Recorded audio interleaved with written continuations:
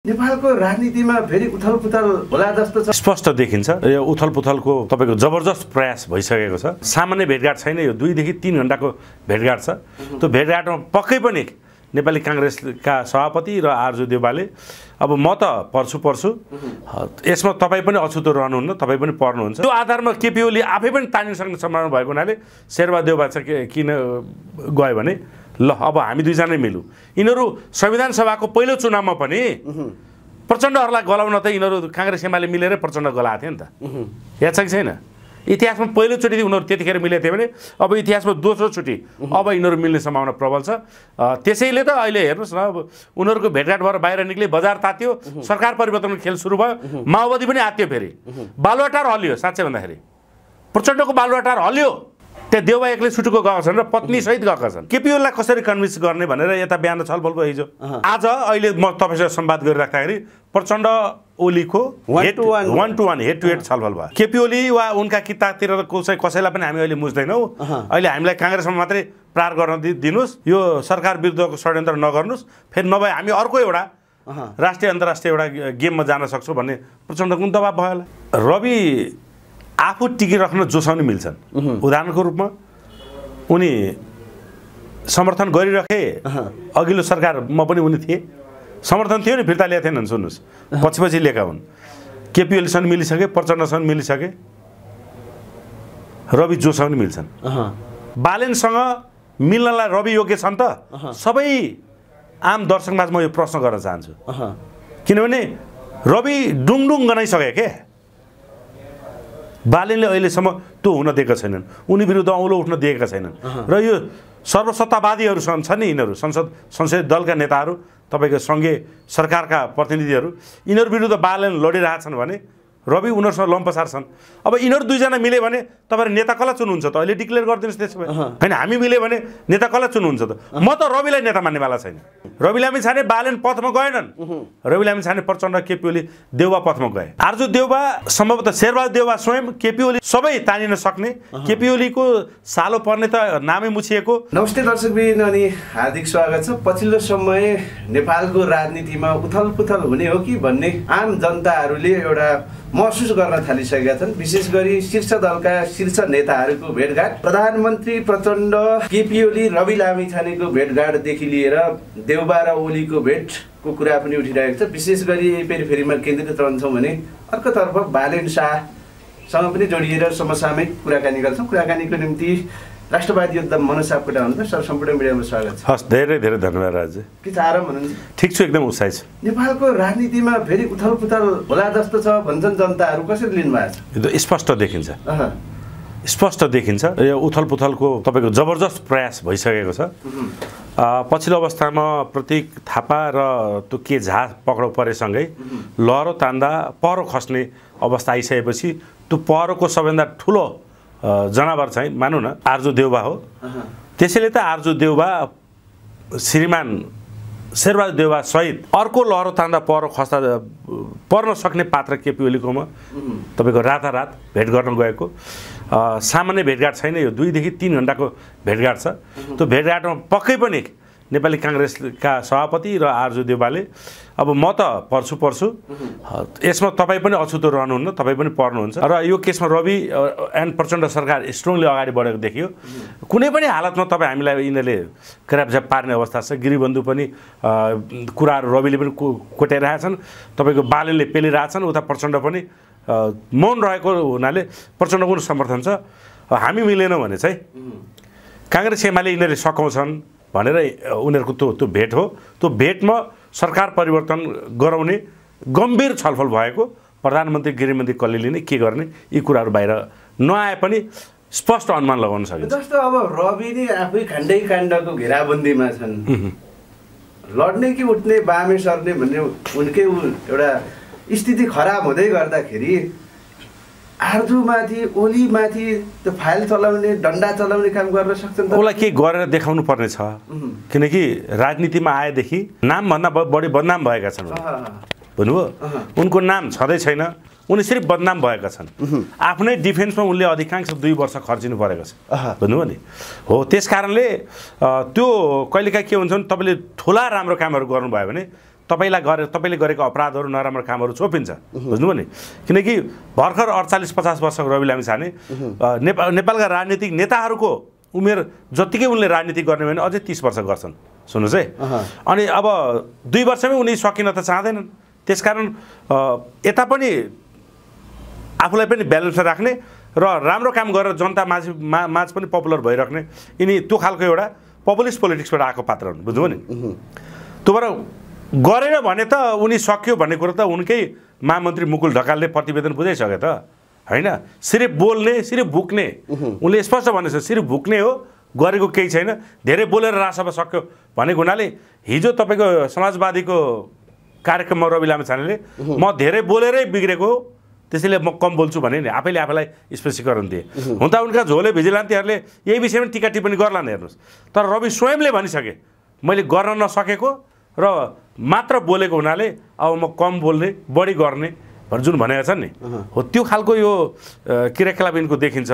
त्यसैले त रातारात दुईवटा ठुलो दल मिल्यो भने त अनि प्रचण्ड रवि नै अनि त्यसपछि खतरामा पर्छ नि त यिनीहरूको। यहाँ रवि र प्रचण्ड मिलेर काङ्ग्रेस एमाले माथि प्रहार गर्ने सम्भावना देखिएको छ। किनकि प्रधानमन्त्री गृहमन्त्री भयो नि त। अब विशेष गरी काङ्ग्रेसलाई बढी पेलान छ यिनीहरूको अहिलेसम्म। अहँ। तर काङ्ग्रेसको कुनै पनि भ्रष्टाचार मुद्दामा कुनै पनि नेतालाई थुनुस् त्यहाँ एमाले आफै तानिएर आउँछ क्या। समस्या यहाँ छ। लिङ्कअप छ भ्रष्टाचारमा बराबर त्यसैले त रविलाई अघिल्ला उनका त्यो चार पाँचवटा एक्सनमा टेलर हिट गराइयो तर फिल्म सुपर फ्लप गराइयो। भने त रविलाई फ्लप गराइयो होइन? अब यसमा पनि त्यही गर्न खोजेको केपीले तर रविले नाइ भनेको। त्यो आधारमा केपी ओली आफै पनि तानिन सक्ने सम्भावना भएको हुनाले शेरबहादेव बाचा किन गयो भने ल अब हामी दुईजनै मिलौँ। यिनीहरू संविधान सभाको पहिलो चुनावमा पनि प्रचण्डहरूलाई गलाउन त यिनीहरू काङ्ग्रेस एमाले मिलेरै प्रचण्ड गलाएको थियो नि त। याद छ कि छैन? इतिहासमा पहिलोचोटि उनीहरू त्यतिखेर मिलेको थियो भने अब इतिहासमा दोस्रोचोटि अब यिनीहरू मिल्ने सम्भावना प्रबल छ। त्यसैले त अहिले हेर्नुहोस् न अब उनीहरूको भेटघाट भएर बाहिर निक्ले बजार तात्यो सरकार परिवर्तनको खेल सुरु भयो माओवादी पनि आत्यो फेरि। बालुवाटार हल्लियो साँच्चै भन्दाखेरि। प्रचण्डको बालुवाटार हल्लियो। त्यहाँ एक्लै सुटुको गएका छन् र पत्नीसहित गएका छन् के के छलफल भयो होला कल्पना गर्नुहोस् होइन छलफल त यता पनि भएछ अब अब यता ओली हो। यता चाहिँ त्यसलाई कसरी डिफेन्स गर्ने। र केपिओलाई कसरी कन्भिन्स गर्ने भनेर यता बिहान छलफल भयो हिजो। आज अहिले म तपाईँसँग संवाद गरिराख्दाखेरि प्रचण्ड ओलीको. One to one head to head छलफल भयो बुझ्नुभयो नि अब यिनीहरू बिचमा केपी ओली वा उनका किताबतिर कसै कसैलाई पनि हामी अहिले बुझ्दैनौँ अहँ। अहिले हामीलाई काङ्ग्रेसमा मात्रै प्रहार गर्न दि दिनुहोस् यो सरकार विरुद्धको षड्यन्त्र नगर्नुहोस् फेरि नभए हामी अर्को एउटा। राष्ट्रिय अन्तर्राष्ट्रिय एउटा गेममा जान सक्छौँ भन्ने प्रचण्डको पनि दबाब भयो होला। सुनसान कुराहरू छन् हेर्नुहोस् सरकार परिवर्तन प्रमुख खेल हो देउबाको अहिले को चाहिँ प्रधानमन्त्री बन्छ त? खुलाइदिनुहोस् आज होइन एमालेसँग मिलेर काङ्ग्रेस सरकारमा गयो भने केपी ओलीको एउटै बटम लाइन हुन्छ गृहमन्त्री र प्रधानमन्त्री केपी ओलीले राख्छन्। किनकि यहाँ निरीह काङ्ग्रेस छ नि त। केपी ओली त अलरेडी सरकारमा छन्। अब माओवादी र तपाईँको राजसपालाई बाहिर राखेर यिनीहरू सरकारमा बन्यो भने केपी ओलीले भयभरको राम्रा मन्त्रालय पनि आफै लिन्छन् प्रधानमन्त्री पनि आफै लिन्छन्। काङ्ग्रेस बस सरकारमा गएर आफूलाई सुरक्षित राख्न चाहन्छ। अहिलेको खेला बेला त्यही नै हो। रविले काङ्ग्रेसको ढ्याङ्ग्रो बजाउन खोज्दै गर्दा रविको पनि त बज्यो नि त त्यसो भए होइन सरकार फेरबदल भएर एमाले र काङ्ग्रेस सरकार सरकार फेरि फेरबदल। भयो भने। काङ्ग्रेसको एउटै बटम लाइन रविमाथि छानबिन छानबिन भयो भने रवि दुई सय पर्सेन्ट जेल जान्छन् अनि अपराधबाट मुक्त मान्छे होइनन्। सहकारीमा जिबी राई पक्राउ पर्छन् भने रवि पनि हन्ड्रेड पर्सेन्ट पक्राउ पर्नुपर्छ एउटै कम्पनीमा ऊ पचासी पर्सेन्ट सेयर जिबी राई थिए भने पन्ध्र पर्सेन्ट यिनी पनि थिए क्या? मलाई थाहा छैन भनेर पन्चिरहेको छ नि त रवि। कसरी पर्छन्? होइन उसलाई त केही पनि थाहा छैन नि। उनले चार चारवटा के गरे रे। त्यो पनि उसलाई थाहा छैन। उनले नेपालको नागरिकता त्यागे त्यो पनि उसलाई थाहा छैन। अमेरिका बसे फेरि नेपाल आए। अमेरिकन नागरिक भएरै नेपालमा चार पाँच वर्ष काम गरे। त्यो पनि उसलाई थाहा छैन। अमेरिका नागरिक अमेरिकाको नागरिकता त्यागिदिए त्यो पनि उसलाई थाहा छैन। न्युज ट्वेन्टी फोर छोडे त्यो पनि थाहा छैन। अहँ। सहकारीमा यति ठगी प्रकरणमा चौरानब्बे करोड म मुछेका छन् यिनी। त्यो पनि उनलाई थाहा छैन। यसलाई थाहा चाहिँ के छ त? के छ थाहा भन्नु त? यसलाई एउटै कुरो थाहा छ ठग्ने जनतालाई भुलभुलाइमा पार्ने। अहिलेसम्म देखियो त्यो युवा भएर विरोध नगर्नुहोस् क्या जनताको चाहना रवि लामी छानेमाथि धेरै छ। तपाईँहरू मनोज। सापकोटाको पृष्ठभूमि हेर्नुभयो भने रवि लामी छानेको पहिलो संसदीय उसमा अदालतले खारिज गर्दै गर्दाखेरि हामी गएको थियौँ उनको पक्षमा वकालत गर्न। म दुई दिन हिरासत बसेको छु। उनलाई पहिले प्रचण्ड सरकारले एकचोटि जेल हाल्दाखेरि काठमाडौँको आन्दोलनको नेतृत्व मैले गरेको थिएँ। बुझ्दै जाँदा त ठग मात्रै रहेछ ठगेको मात्रै रहेछ अनि ठगहरूसँग मात्रै सङ्गत रहेछ।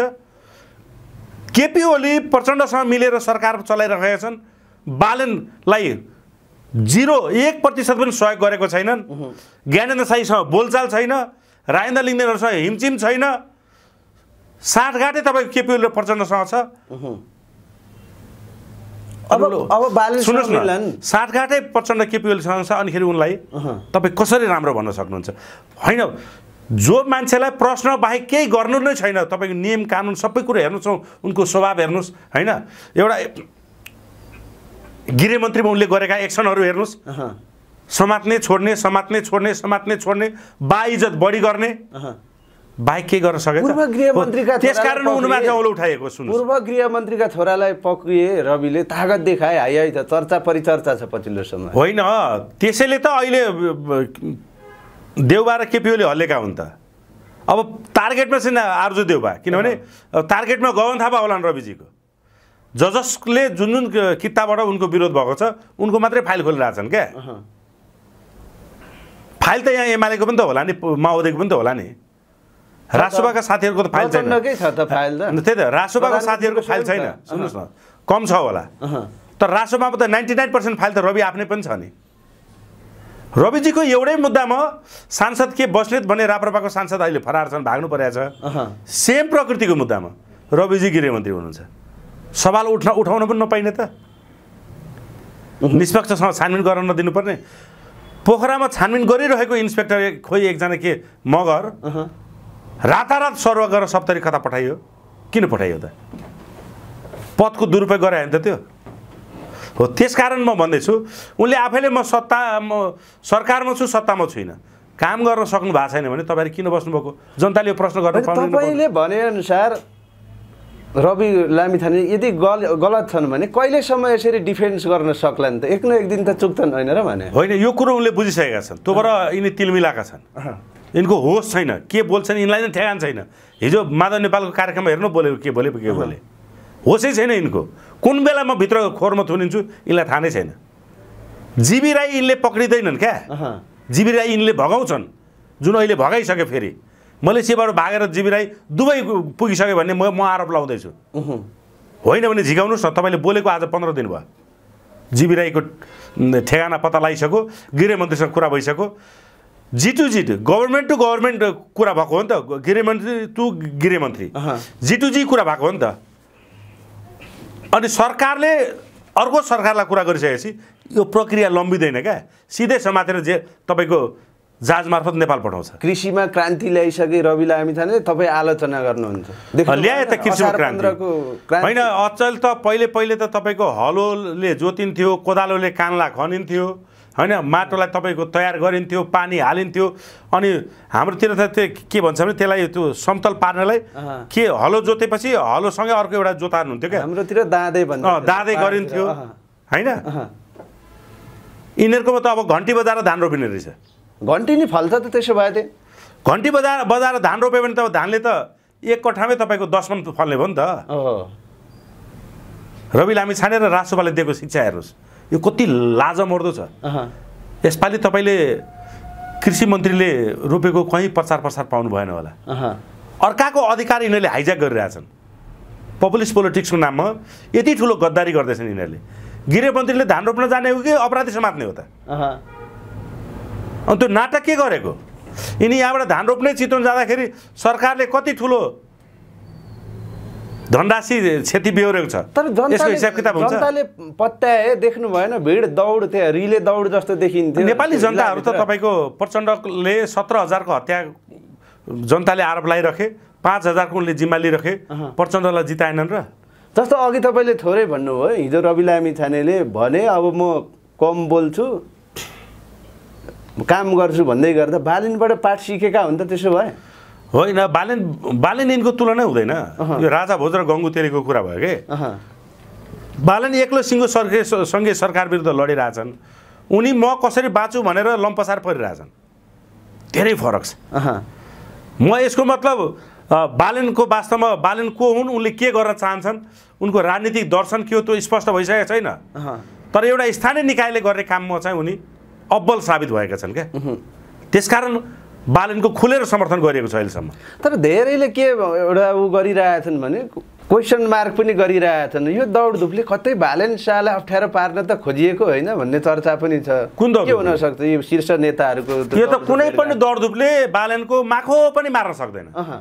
बालेन सरकार हुन् राजधानीको। एक किसिम एक प्रकारले तपाईँले राजधानीको राजा हुन् भने पनि भयो। सब कुछ हुनु नि काठमाडौँ महानगरको।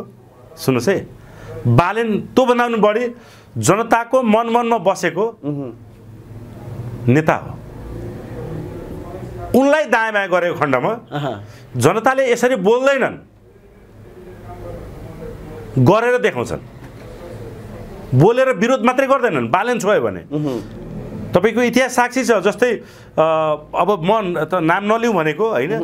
दुर्गाजीको सँगको टसलमा हेर्नु न के हालत बनाइदिएको थियो एमालेलाई। उनी जस्तो मान्छेको पक्षमा त जनता लागे। बालनको मा पक्षमा कति कसरी आउलान् जनता कसरी ओर्लिलान् कसरी त्यो त्यो त्यो अवस्था नेपाल सरकारले कन्ट्रोल गर्न सक्ला भने? यिनै जनता तर बालेन चलाउने कुनै पनि हालतमा कहीँ कतै मनमा पनि नसोच्नुहोस् यिनै जनता हुन् जता पनि कुद्छन् नि। अहिले दुर्गा पनि त निख्रिए नि एकल भयो होइन र भने। होइन दुर् दुर्गाजीले त अब आफ्नो मुभमेन्ट र आफूलाई चिनेनन्। उनीले परिवार चलाए जस्तो। देश चलाउन खोजे। यो भनेको धेरै ठुलो परिवार हुन्छ। पाँच सातजनाको परिवारलाई तपाईँको त्यो हकारेर होइन? त्यो त्यसरी चलाए जस्तो एउटा अभियान एउटा देश चलाउने बाटोमा उनी लागे। त्यस कारणले न हामीले उनलाई अब उनीसँग हामी अहिले छैनौँ। नभए उनले जुन रेभोल्युसन ल्याएका थिए उनको नेतृत्वले ल्याएको थियो हामीले सहयोग गरेको थियौँ। बल्कुको आन्दोलन त हामीले गराएको हो नि त। हाम्रो बलमा भएको हो नि त ब- बल्कुको आन्दोलन। त्यो आन्दोलनले त स्पष्ट सन्देश दिइसक्यो त। अब देश र जनताको नेताहरूलाई चलायो भने तिमीहरूको दलमा सङ्गठन होला तर जनता सङ्गठन बाहिर भइसके जनताले चाहिँ अब देशका छोराहरूलाई साथ दिन्छन् भनेर त्यहाँ देखाइसक्यो नि। त्यसकारण त बालेन चलायो भने नि त्यो बल्कुभन्दा पचास गुणा ठुलो आन्दोलन हुन्छ। यिनीहरूले लुक्ने ठाउँ पाउँदैनन् देशैभरि कुनै पनि गद्दार नेताहरूले। पाउँदैनन् भने ढुकाउनुहोस् यिनीहरूको सात पुस्ते लिस्ट तयार गरेर जनताले नि। असुल छन्। जस्तो हामीले दुर्गा प्रसाई जोडिहाल्यौँ तपाईँले निकाली पनि हाल्नुभयो। पछिल्लो समय दुर्गा प्रसाईका स्टाटस केपी ओली केन्द्रित त्यस पछाडि आर्जु राणादेखि रवि लामिछानेको विरुद्धमा कटाक्ष भएर लेख्छन्। प्रचण्डलाई चाहिँ काहीँ उनले लेख्दैनन् उनलाई लेख्न आउँदैन। प्रचण्डको। इसारामा काम गर्छन् कि क्या लेख्दैनन् जनताले खासै त्यो लेख्न पनि आउँदैन। लेख्न आउने जति उनको एजुकेसन पनि होइन।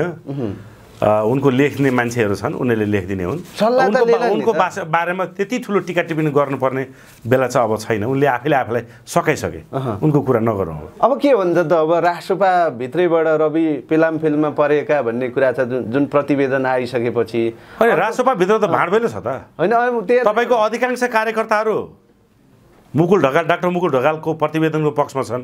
किनकि राजसभामा अधिकांश नेता कार्यकर्ताहरू राज संस्था समर्थक छन् क्या?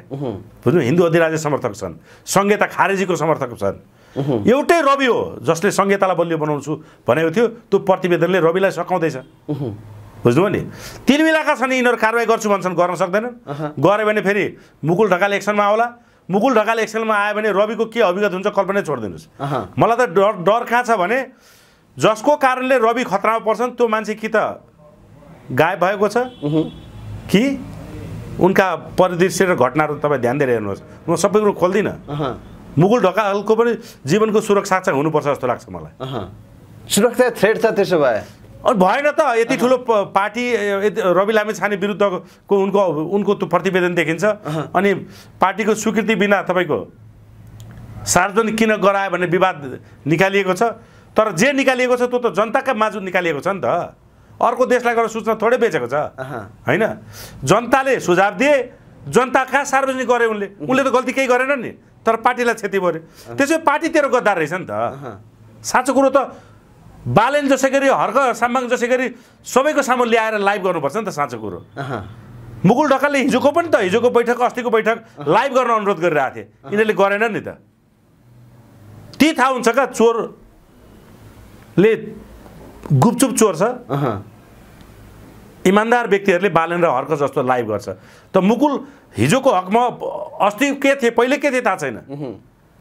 आजको हकमा मुकुल ठ्याक्कै हर्क र बालेन जस्तै लाइभ आएर चाहिँ आ, पार्टीको क्रियाकलापहरू बाहिर ल्याउनुपर्छ भन्ने पक्षमा उभिए नि त। अब जस्तो अब बालेनसँग मिल्नु पर्ने नभए राष्ट्रपा सकिने खतरा भन्ने कुरा आएपछि के अब रवि मिल्न जान्छन् बालेनसँग रवि आफू टिकिराख्न जोसाउने मिल्छन्। उदाहरणको रूपमा उनी समर्थन गरिरहे अघिल्लो सरकारमा पनि उनी थिए। समर्थन थियो नि फिर्ता ल्याएको थिएनन् सुन्नुहोस्। पछि पछि लिएका हुन्। केपिएलसँग मिलिसके प्रचण्डसँग मिलिसके रवि जोसँग मिल्छन्। उपेन्द्र यादवदेखि लिएर तपाईँको माधव नेपालदेखि लिएर कोसँग मिलेनन् त रवि। आफू र आफ्नो वर्चस्व राखिराख्न उनी जोसँग मिल्छन्। त्यस कारणले उनले बालनसँग मिल्ने प्रयासहरू गर्छन्। किनकि विदाउट बालेन अब यो त्यही नाम लिएर आएका त हुन् बालेन राजनीतिमा आउने बित्तिकै त सक्यो त। तर यो। प्रतिवेदन यो जनताको सेन्टिमेन्ट चाहिँ राष्ट्रपाले बालेन सक्नको निम्ति युज गरिँदैछ भन्ने कुरा छ। रासोपा रवि लामी छानेले अब बालेन सक्ने यो सपना दिवा सपना नदेखे हुन्छ। किनभने हो यी दुइटैको समर्थकहरू चाहिँ चाहन्छन् बालेन र रवि एक हुन्। हामी पनि चाहन्छौँ तपाईँ पनि चाहन्छौँ। तर अब के त? बालेनसँग मिल्नलाई रवि योग्य छन् त। सबै आम दर्शकमाझ म यो प्रश्न गर्न चाहन्छु। किनभने रवि डुङडुङ गनाइसके के? बालेनले अहिलेसम्म त्यो हुन दिएका छैनन्। उनी विरुद्ध औलो उठ्न दिएका छैनन्। र यो सर्वसत्तावादीहरू छन् नि यिनीहरू। संसद संसदीय दलका नेताहरू तपाईँको सङ्घीय सरकारका प्रतिनिधिहरू यिनीहरू विरुद्ध बालेन लडिरहेछन् भने रवि उनीहरूसँग लम्पसार छन् अब यिनीहरू दुईजना मिल्यो भने तपाईँहरू नेता कसलाई चुन्नुहुन्छ त? अहिले डिक्लेयर गरिदिनुहोस् त्यसो भए। होइन हामी मिल्यो भने नेता कसलाई चुन्नुहुन्छ त? म त रविलाई नेता मान्नेवाला छैन। गृहमन्त्री नेता स्वीकार्नुहुन्न तपाईँ। मेरो रा नेपालको राजनीतिमा मेरो झोला बोक्ने कार्यकर्ता पनि स्वीकार्दैन रविलाई। राजनीतिमा जिरो अध्ययन जम्मा प्लस टू पनि गराएर हिँड्छन् हामी त तपाईँको मैले यो हेपेको होइन क्या। उनले सबै कुरो राम्रो गरेको भए हामी उनीसँग पनि हुन्थ्यौँ। पढेर पनि जान्ने हुन्छ नि त पढेर पनि जानेन नि भसाज गरौँमा केही जानेन आठ पढेर प्रधानमन्त्री खाइसक्यो दुई तिन कार्यकाल। त उसले देश बेच्न बाहेक के जानु? देश बेचे बेचे बापत आजसम्म टिकिरहेको मान्छे हो केपी ओली महाकाली कसले बेचे जस्तो लाग्छ तपाईँलाई? हँ? यति ओम्नी काण्डमा को कसले अरबौँ भ्रष्टाचार गरे जस्तो लाग्छ तपाईँलाई? अहिले गिरिबन्धुमा दस हजारको करोडको भ्रष्टाचारको कुरा गरेका छन् बालन शाहले। त्यसको उत्तर कसले दिन्छ त? हो। जति धेरै ठुलो डकैती गर्यो यो राज्यमाथि त्यति ठुलो नेता हुन्छ भन्ने कुरो माइन्ड मेकअप गरेका छन् रवि लामिछानेले पनि। अनि उनी पनि ठ्याक्कै देउबा र केपी ओलीकै पथमा प्रचण्डको पथमा आएका छन्। बालन पथमा गएनन् रवि लामी छाने रवि लामी छाने बालन पथमा गएनन्। रवि लामी छाने प्रचण्ड केपी ओली देउबा पथमा गए। त्यसैले त आज आलोचनाको शिकार बन्दैछन्। हामी जस्तो एउटा उनको लागि हिजो मर्ने मार्ने तयार भएका पात्रहरू आज उनकै आलोचना गरिरहेछौँ किनकि उनी राम्रो गर्नै चाहिरहेका छन् देश बचाउन बनाउनु त कुरै छोडिदिनुहोस् ब्रह्मलुट गरेर यो देश सकाउने दाउमा लागिरहेछन् विदेशी इसारामा। प्रधानमन्त्री बन्छन् रवि लामी छाने अहिले त एक्काइस बाइस सिट त छ। कसरी काम गर्ने भन्ने कुरा छ नि त फेरि। होइन भोलि नै प्रधानमन्त्री भयो भने तपाईँ आश्चर्य नमान्नु तर नेपाली जनताले अब उनलाई बनाउँदैनन्। रवि लामी नेपाली जनताले बालन प्रवृत्तिलाई नै बनाउँछन्। यो देशमा चुनाव जित्नलाई सङ्गठन चाहिँदैन रहेछ भन्ने कुरा रासोपाले एक्काइस सिट जितेर प्रमाणित गराएको छ अहँ, यो देशमा आन्दोलन सफल बनाउनलाई सङ्गठन चाहिँदैन भन्ने कुरा। दुर्गा प्रसाई अ, के अरे नागरिक बचाउ महाअभियानको आन्दोलनले मङ्सिर सात गते हामीले गरेको हामीले नेतृत्व गरेको आन्दोलनले मङ्सिर सात गते बल्खुमा प्रमाणित गरेको छ। यो देशमा विकास गर्नलाई पार्टी चाहिँदैन भन्ने कुरा चाहिँ बालेन हर्क र गोपी हमालले स्थानीय निकायमा गरेको विकासले प्रमाणित गरेको छ अब मिसन चौरासीसम्म पुग्दै गर्दा त्यसो भए बालेन शाह नेपालको प्रधानमन्त्री। नेपालको राजनीतिमा पार्टी खोलेर उनी आयो भने नेपालको प्रधानमन्त्री। तर उनको काम र कामले क्रान्ति गर्दैछ उनको विकासले क्रान्ति गर्दैछ त्यही क्रान्ति मार्फतै जनताबाट निर्वाचित प्रत्यक्ष कार्यकारी प्रमुख प्रधानमन्त्री म त्यो नियम लागू गरेर अगाडि बढ्यो भने दुई सय पर्सेन्ट बालन प्रधानमन्त्री हुन्छन् बालन प्रवृत्ति प्रधानमन्त्री। अन्तिममा जनता केन्द्रित केही मेसेज छ भने खुलाइदिनुहोस् पछिल्लो राजनीतिक घटनाक्रम एकदम चाख लाग्दो छ र गम्भीरतापूर्वक नेपाली जनतालाई हेरिदिन म आग्रह गर्छु। यो राजनीतिक घटनाक्रमले चाहिँ के देखाएको छ भने आर्जु देउबा सम्भवतः शेरबहादुर देउबा स्वयं केपी ओली सबै तानिन सक्ने। केपी ओलीको सालो पर्ने त नामै मुछिएको उनका तपाईँका पार्टीका ठुला नेताको भतिजोको तपाईँको पैसा ट्रान्सफर भएको लगायतको धेरै प्रमाणहरूको कुराहरू बाहिर हामीले हेरिरहेछौँ बुझिरहेछौँ। त्यसकारण आर्जु मन्जु यिनीहरू कोही पनि नबाँच्ने भएको हुँदाखेरि यसका प्रमुख डिजाइनकर्ताहरू तपाईँका झापाका अर्का काङ्ग्रेस कृष्णप्रसाद सेटोलासम्मको पनि नामहरू कता कता सुन्न थालिएको छ सुन्नु त्यसकारण लहरो तान्दा पहरो तानिने काङ्ग्रेस त नाइन्टी पर्सेन्ट सकिने एमाले तपाईँको अस्सी पर्सेन्ट त्यसमा सबै भित्र जाने भएको हुँदाखेरि यो रविको यो एक्सनमा बाधा हाल्नलाई कहिले नमिल्ने काङ्ग्रेस एमाले तपाईँको मिलेर सरकार चलाउने र प्रचण्ड रविको यो एक्सनलाई रोक्ने दाउमा अहिले अहिले लागिरहेका छन्। त्यसलाई फेरि कसरी काउन्टर दिने प्रचण्ड लागिरहेका छन्। जनताले पाएको केही पनि छैन। यिनीहरूको यो भाँड भैलो यो लडाइँ यो लुटतन्त्र चौतिस वर्ष हो नेपाली जनताले देखेको। यी सबै बुझेर बालेन जस्तो स्वतन्त्र काम गर्न सक्ने। हामी जस्तोलाई चिन्ने नेपाली जनतालाई म आग्रह गर्छु नभए यो देश बचाउन गाह्रो पर्छ। हस् मनोज सर यहाँको महत्त्वपूर्ण संवाद र अमूल्य समयको लागि धेरै धेरै धन्यवाद। जय नेपाल आमा।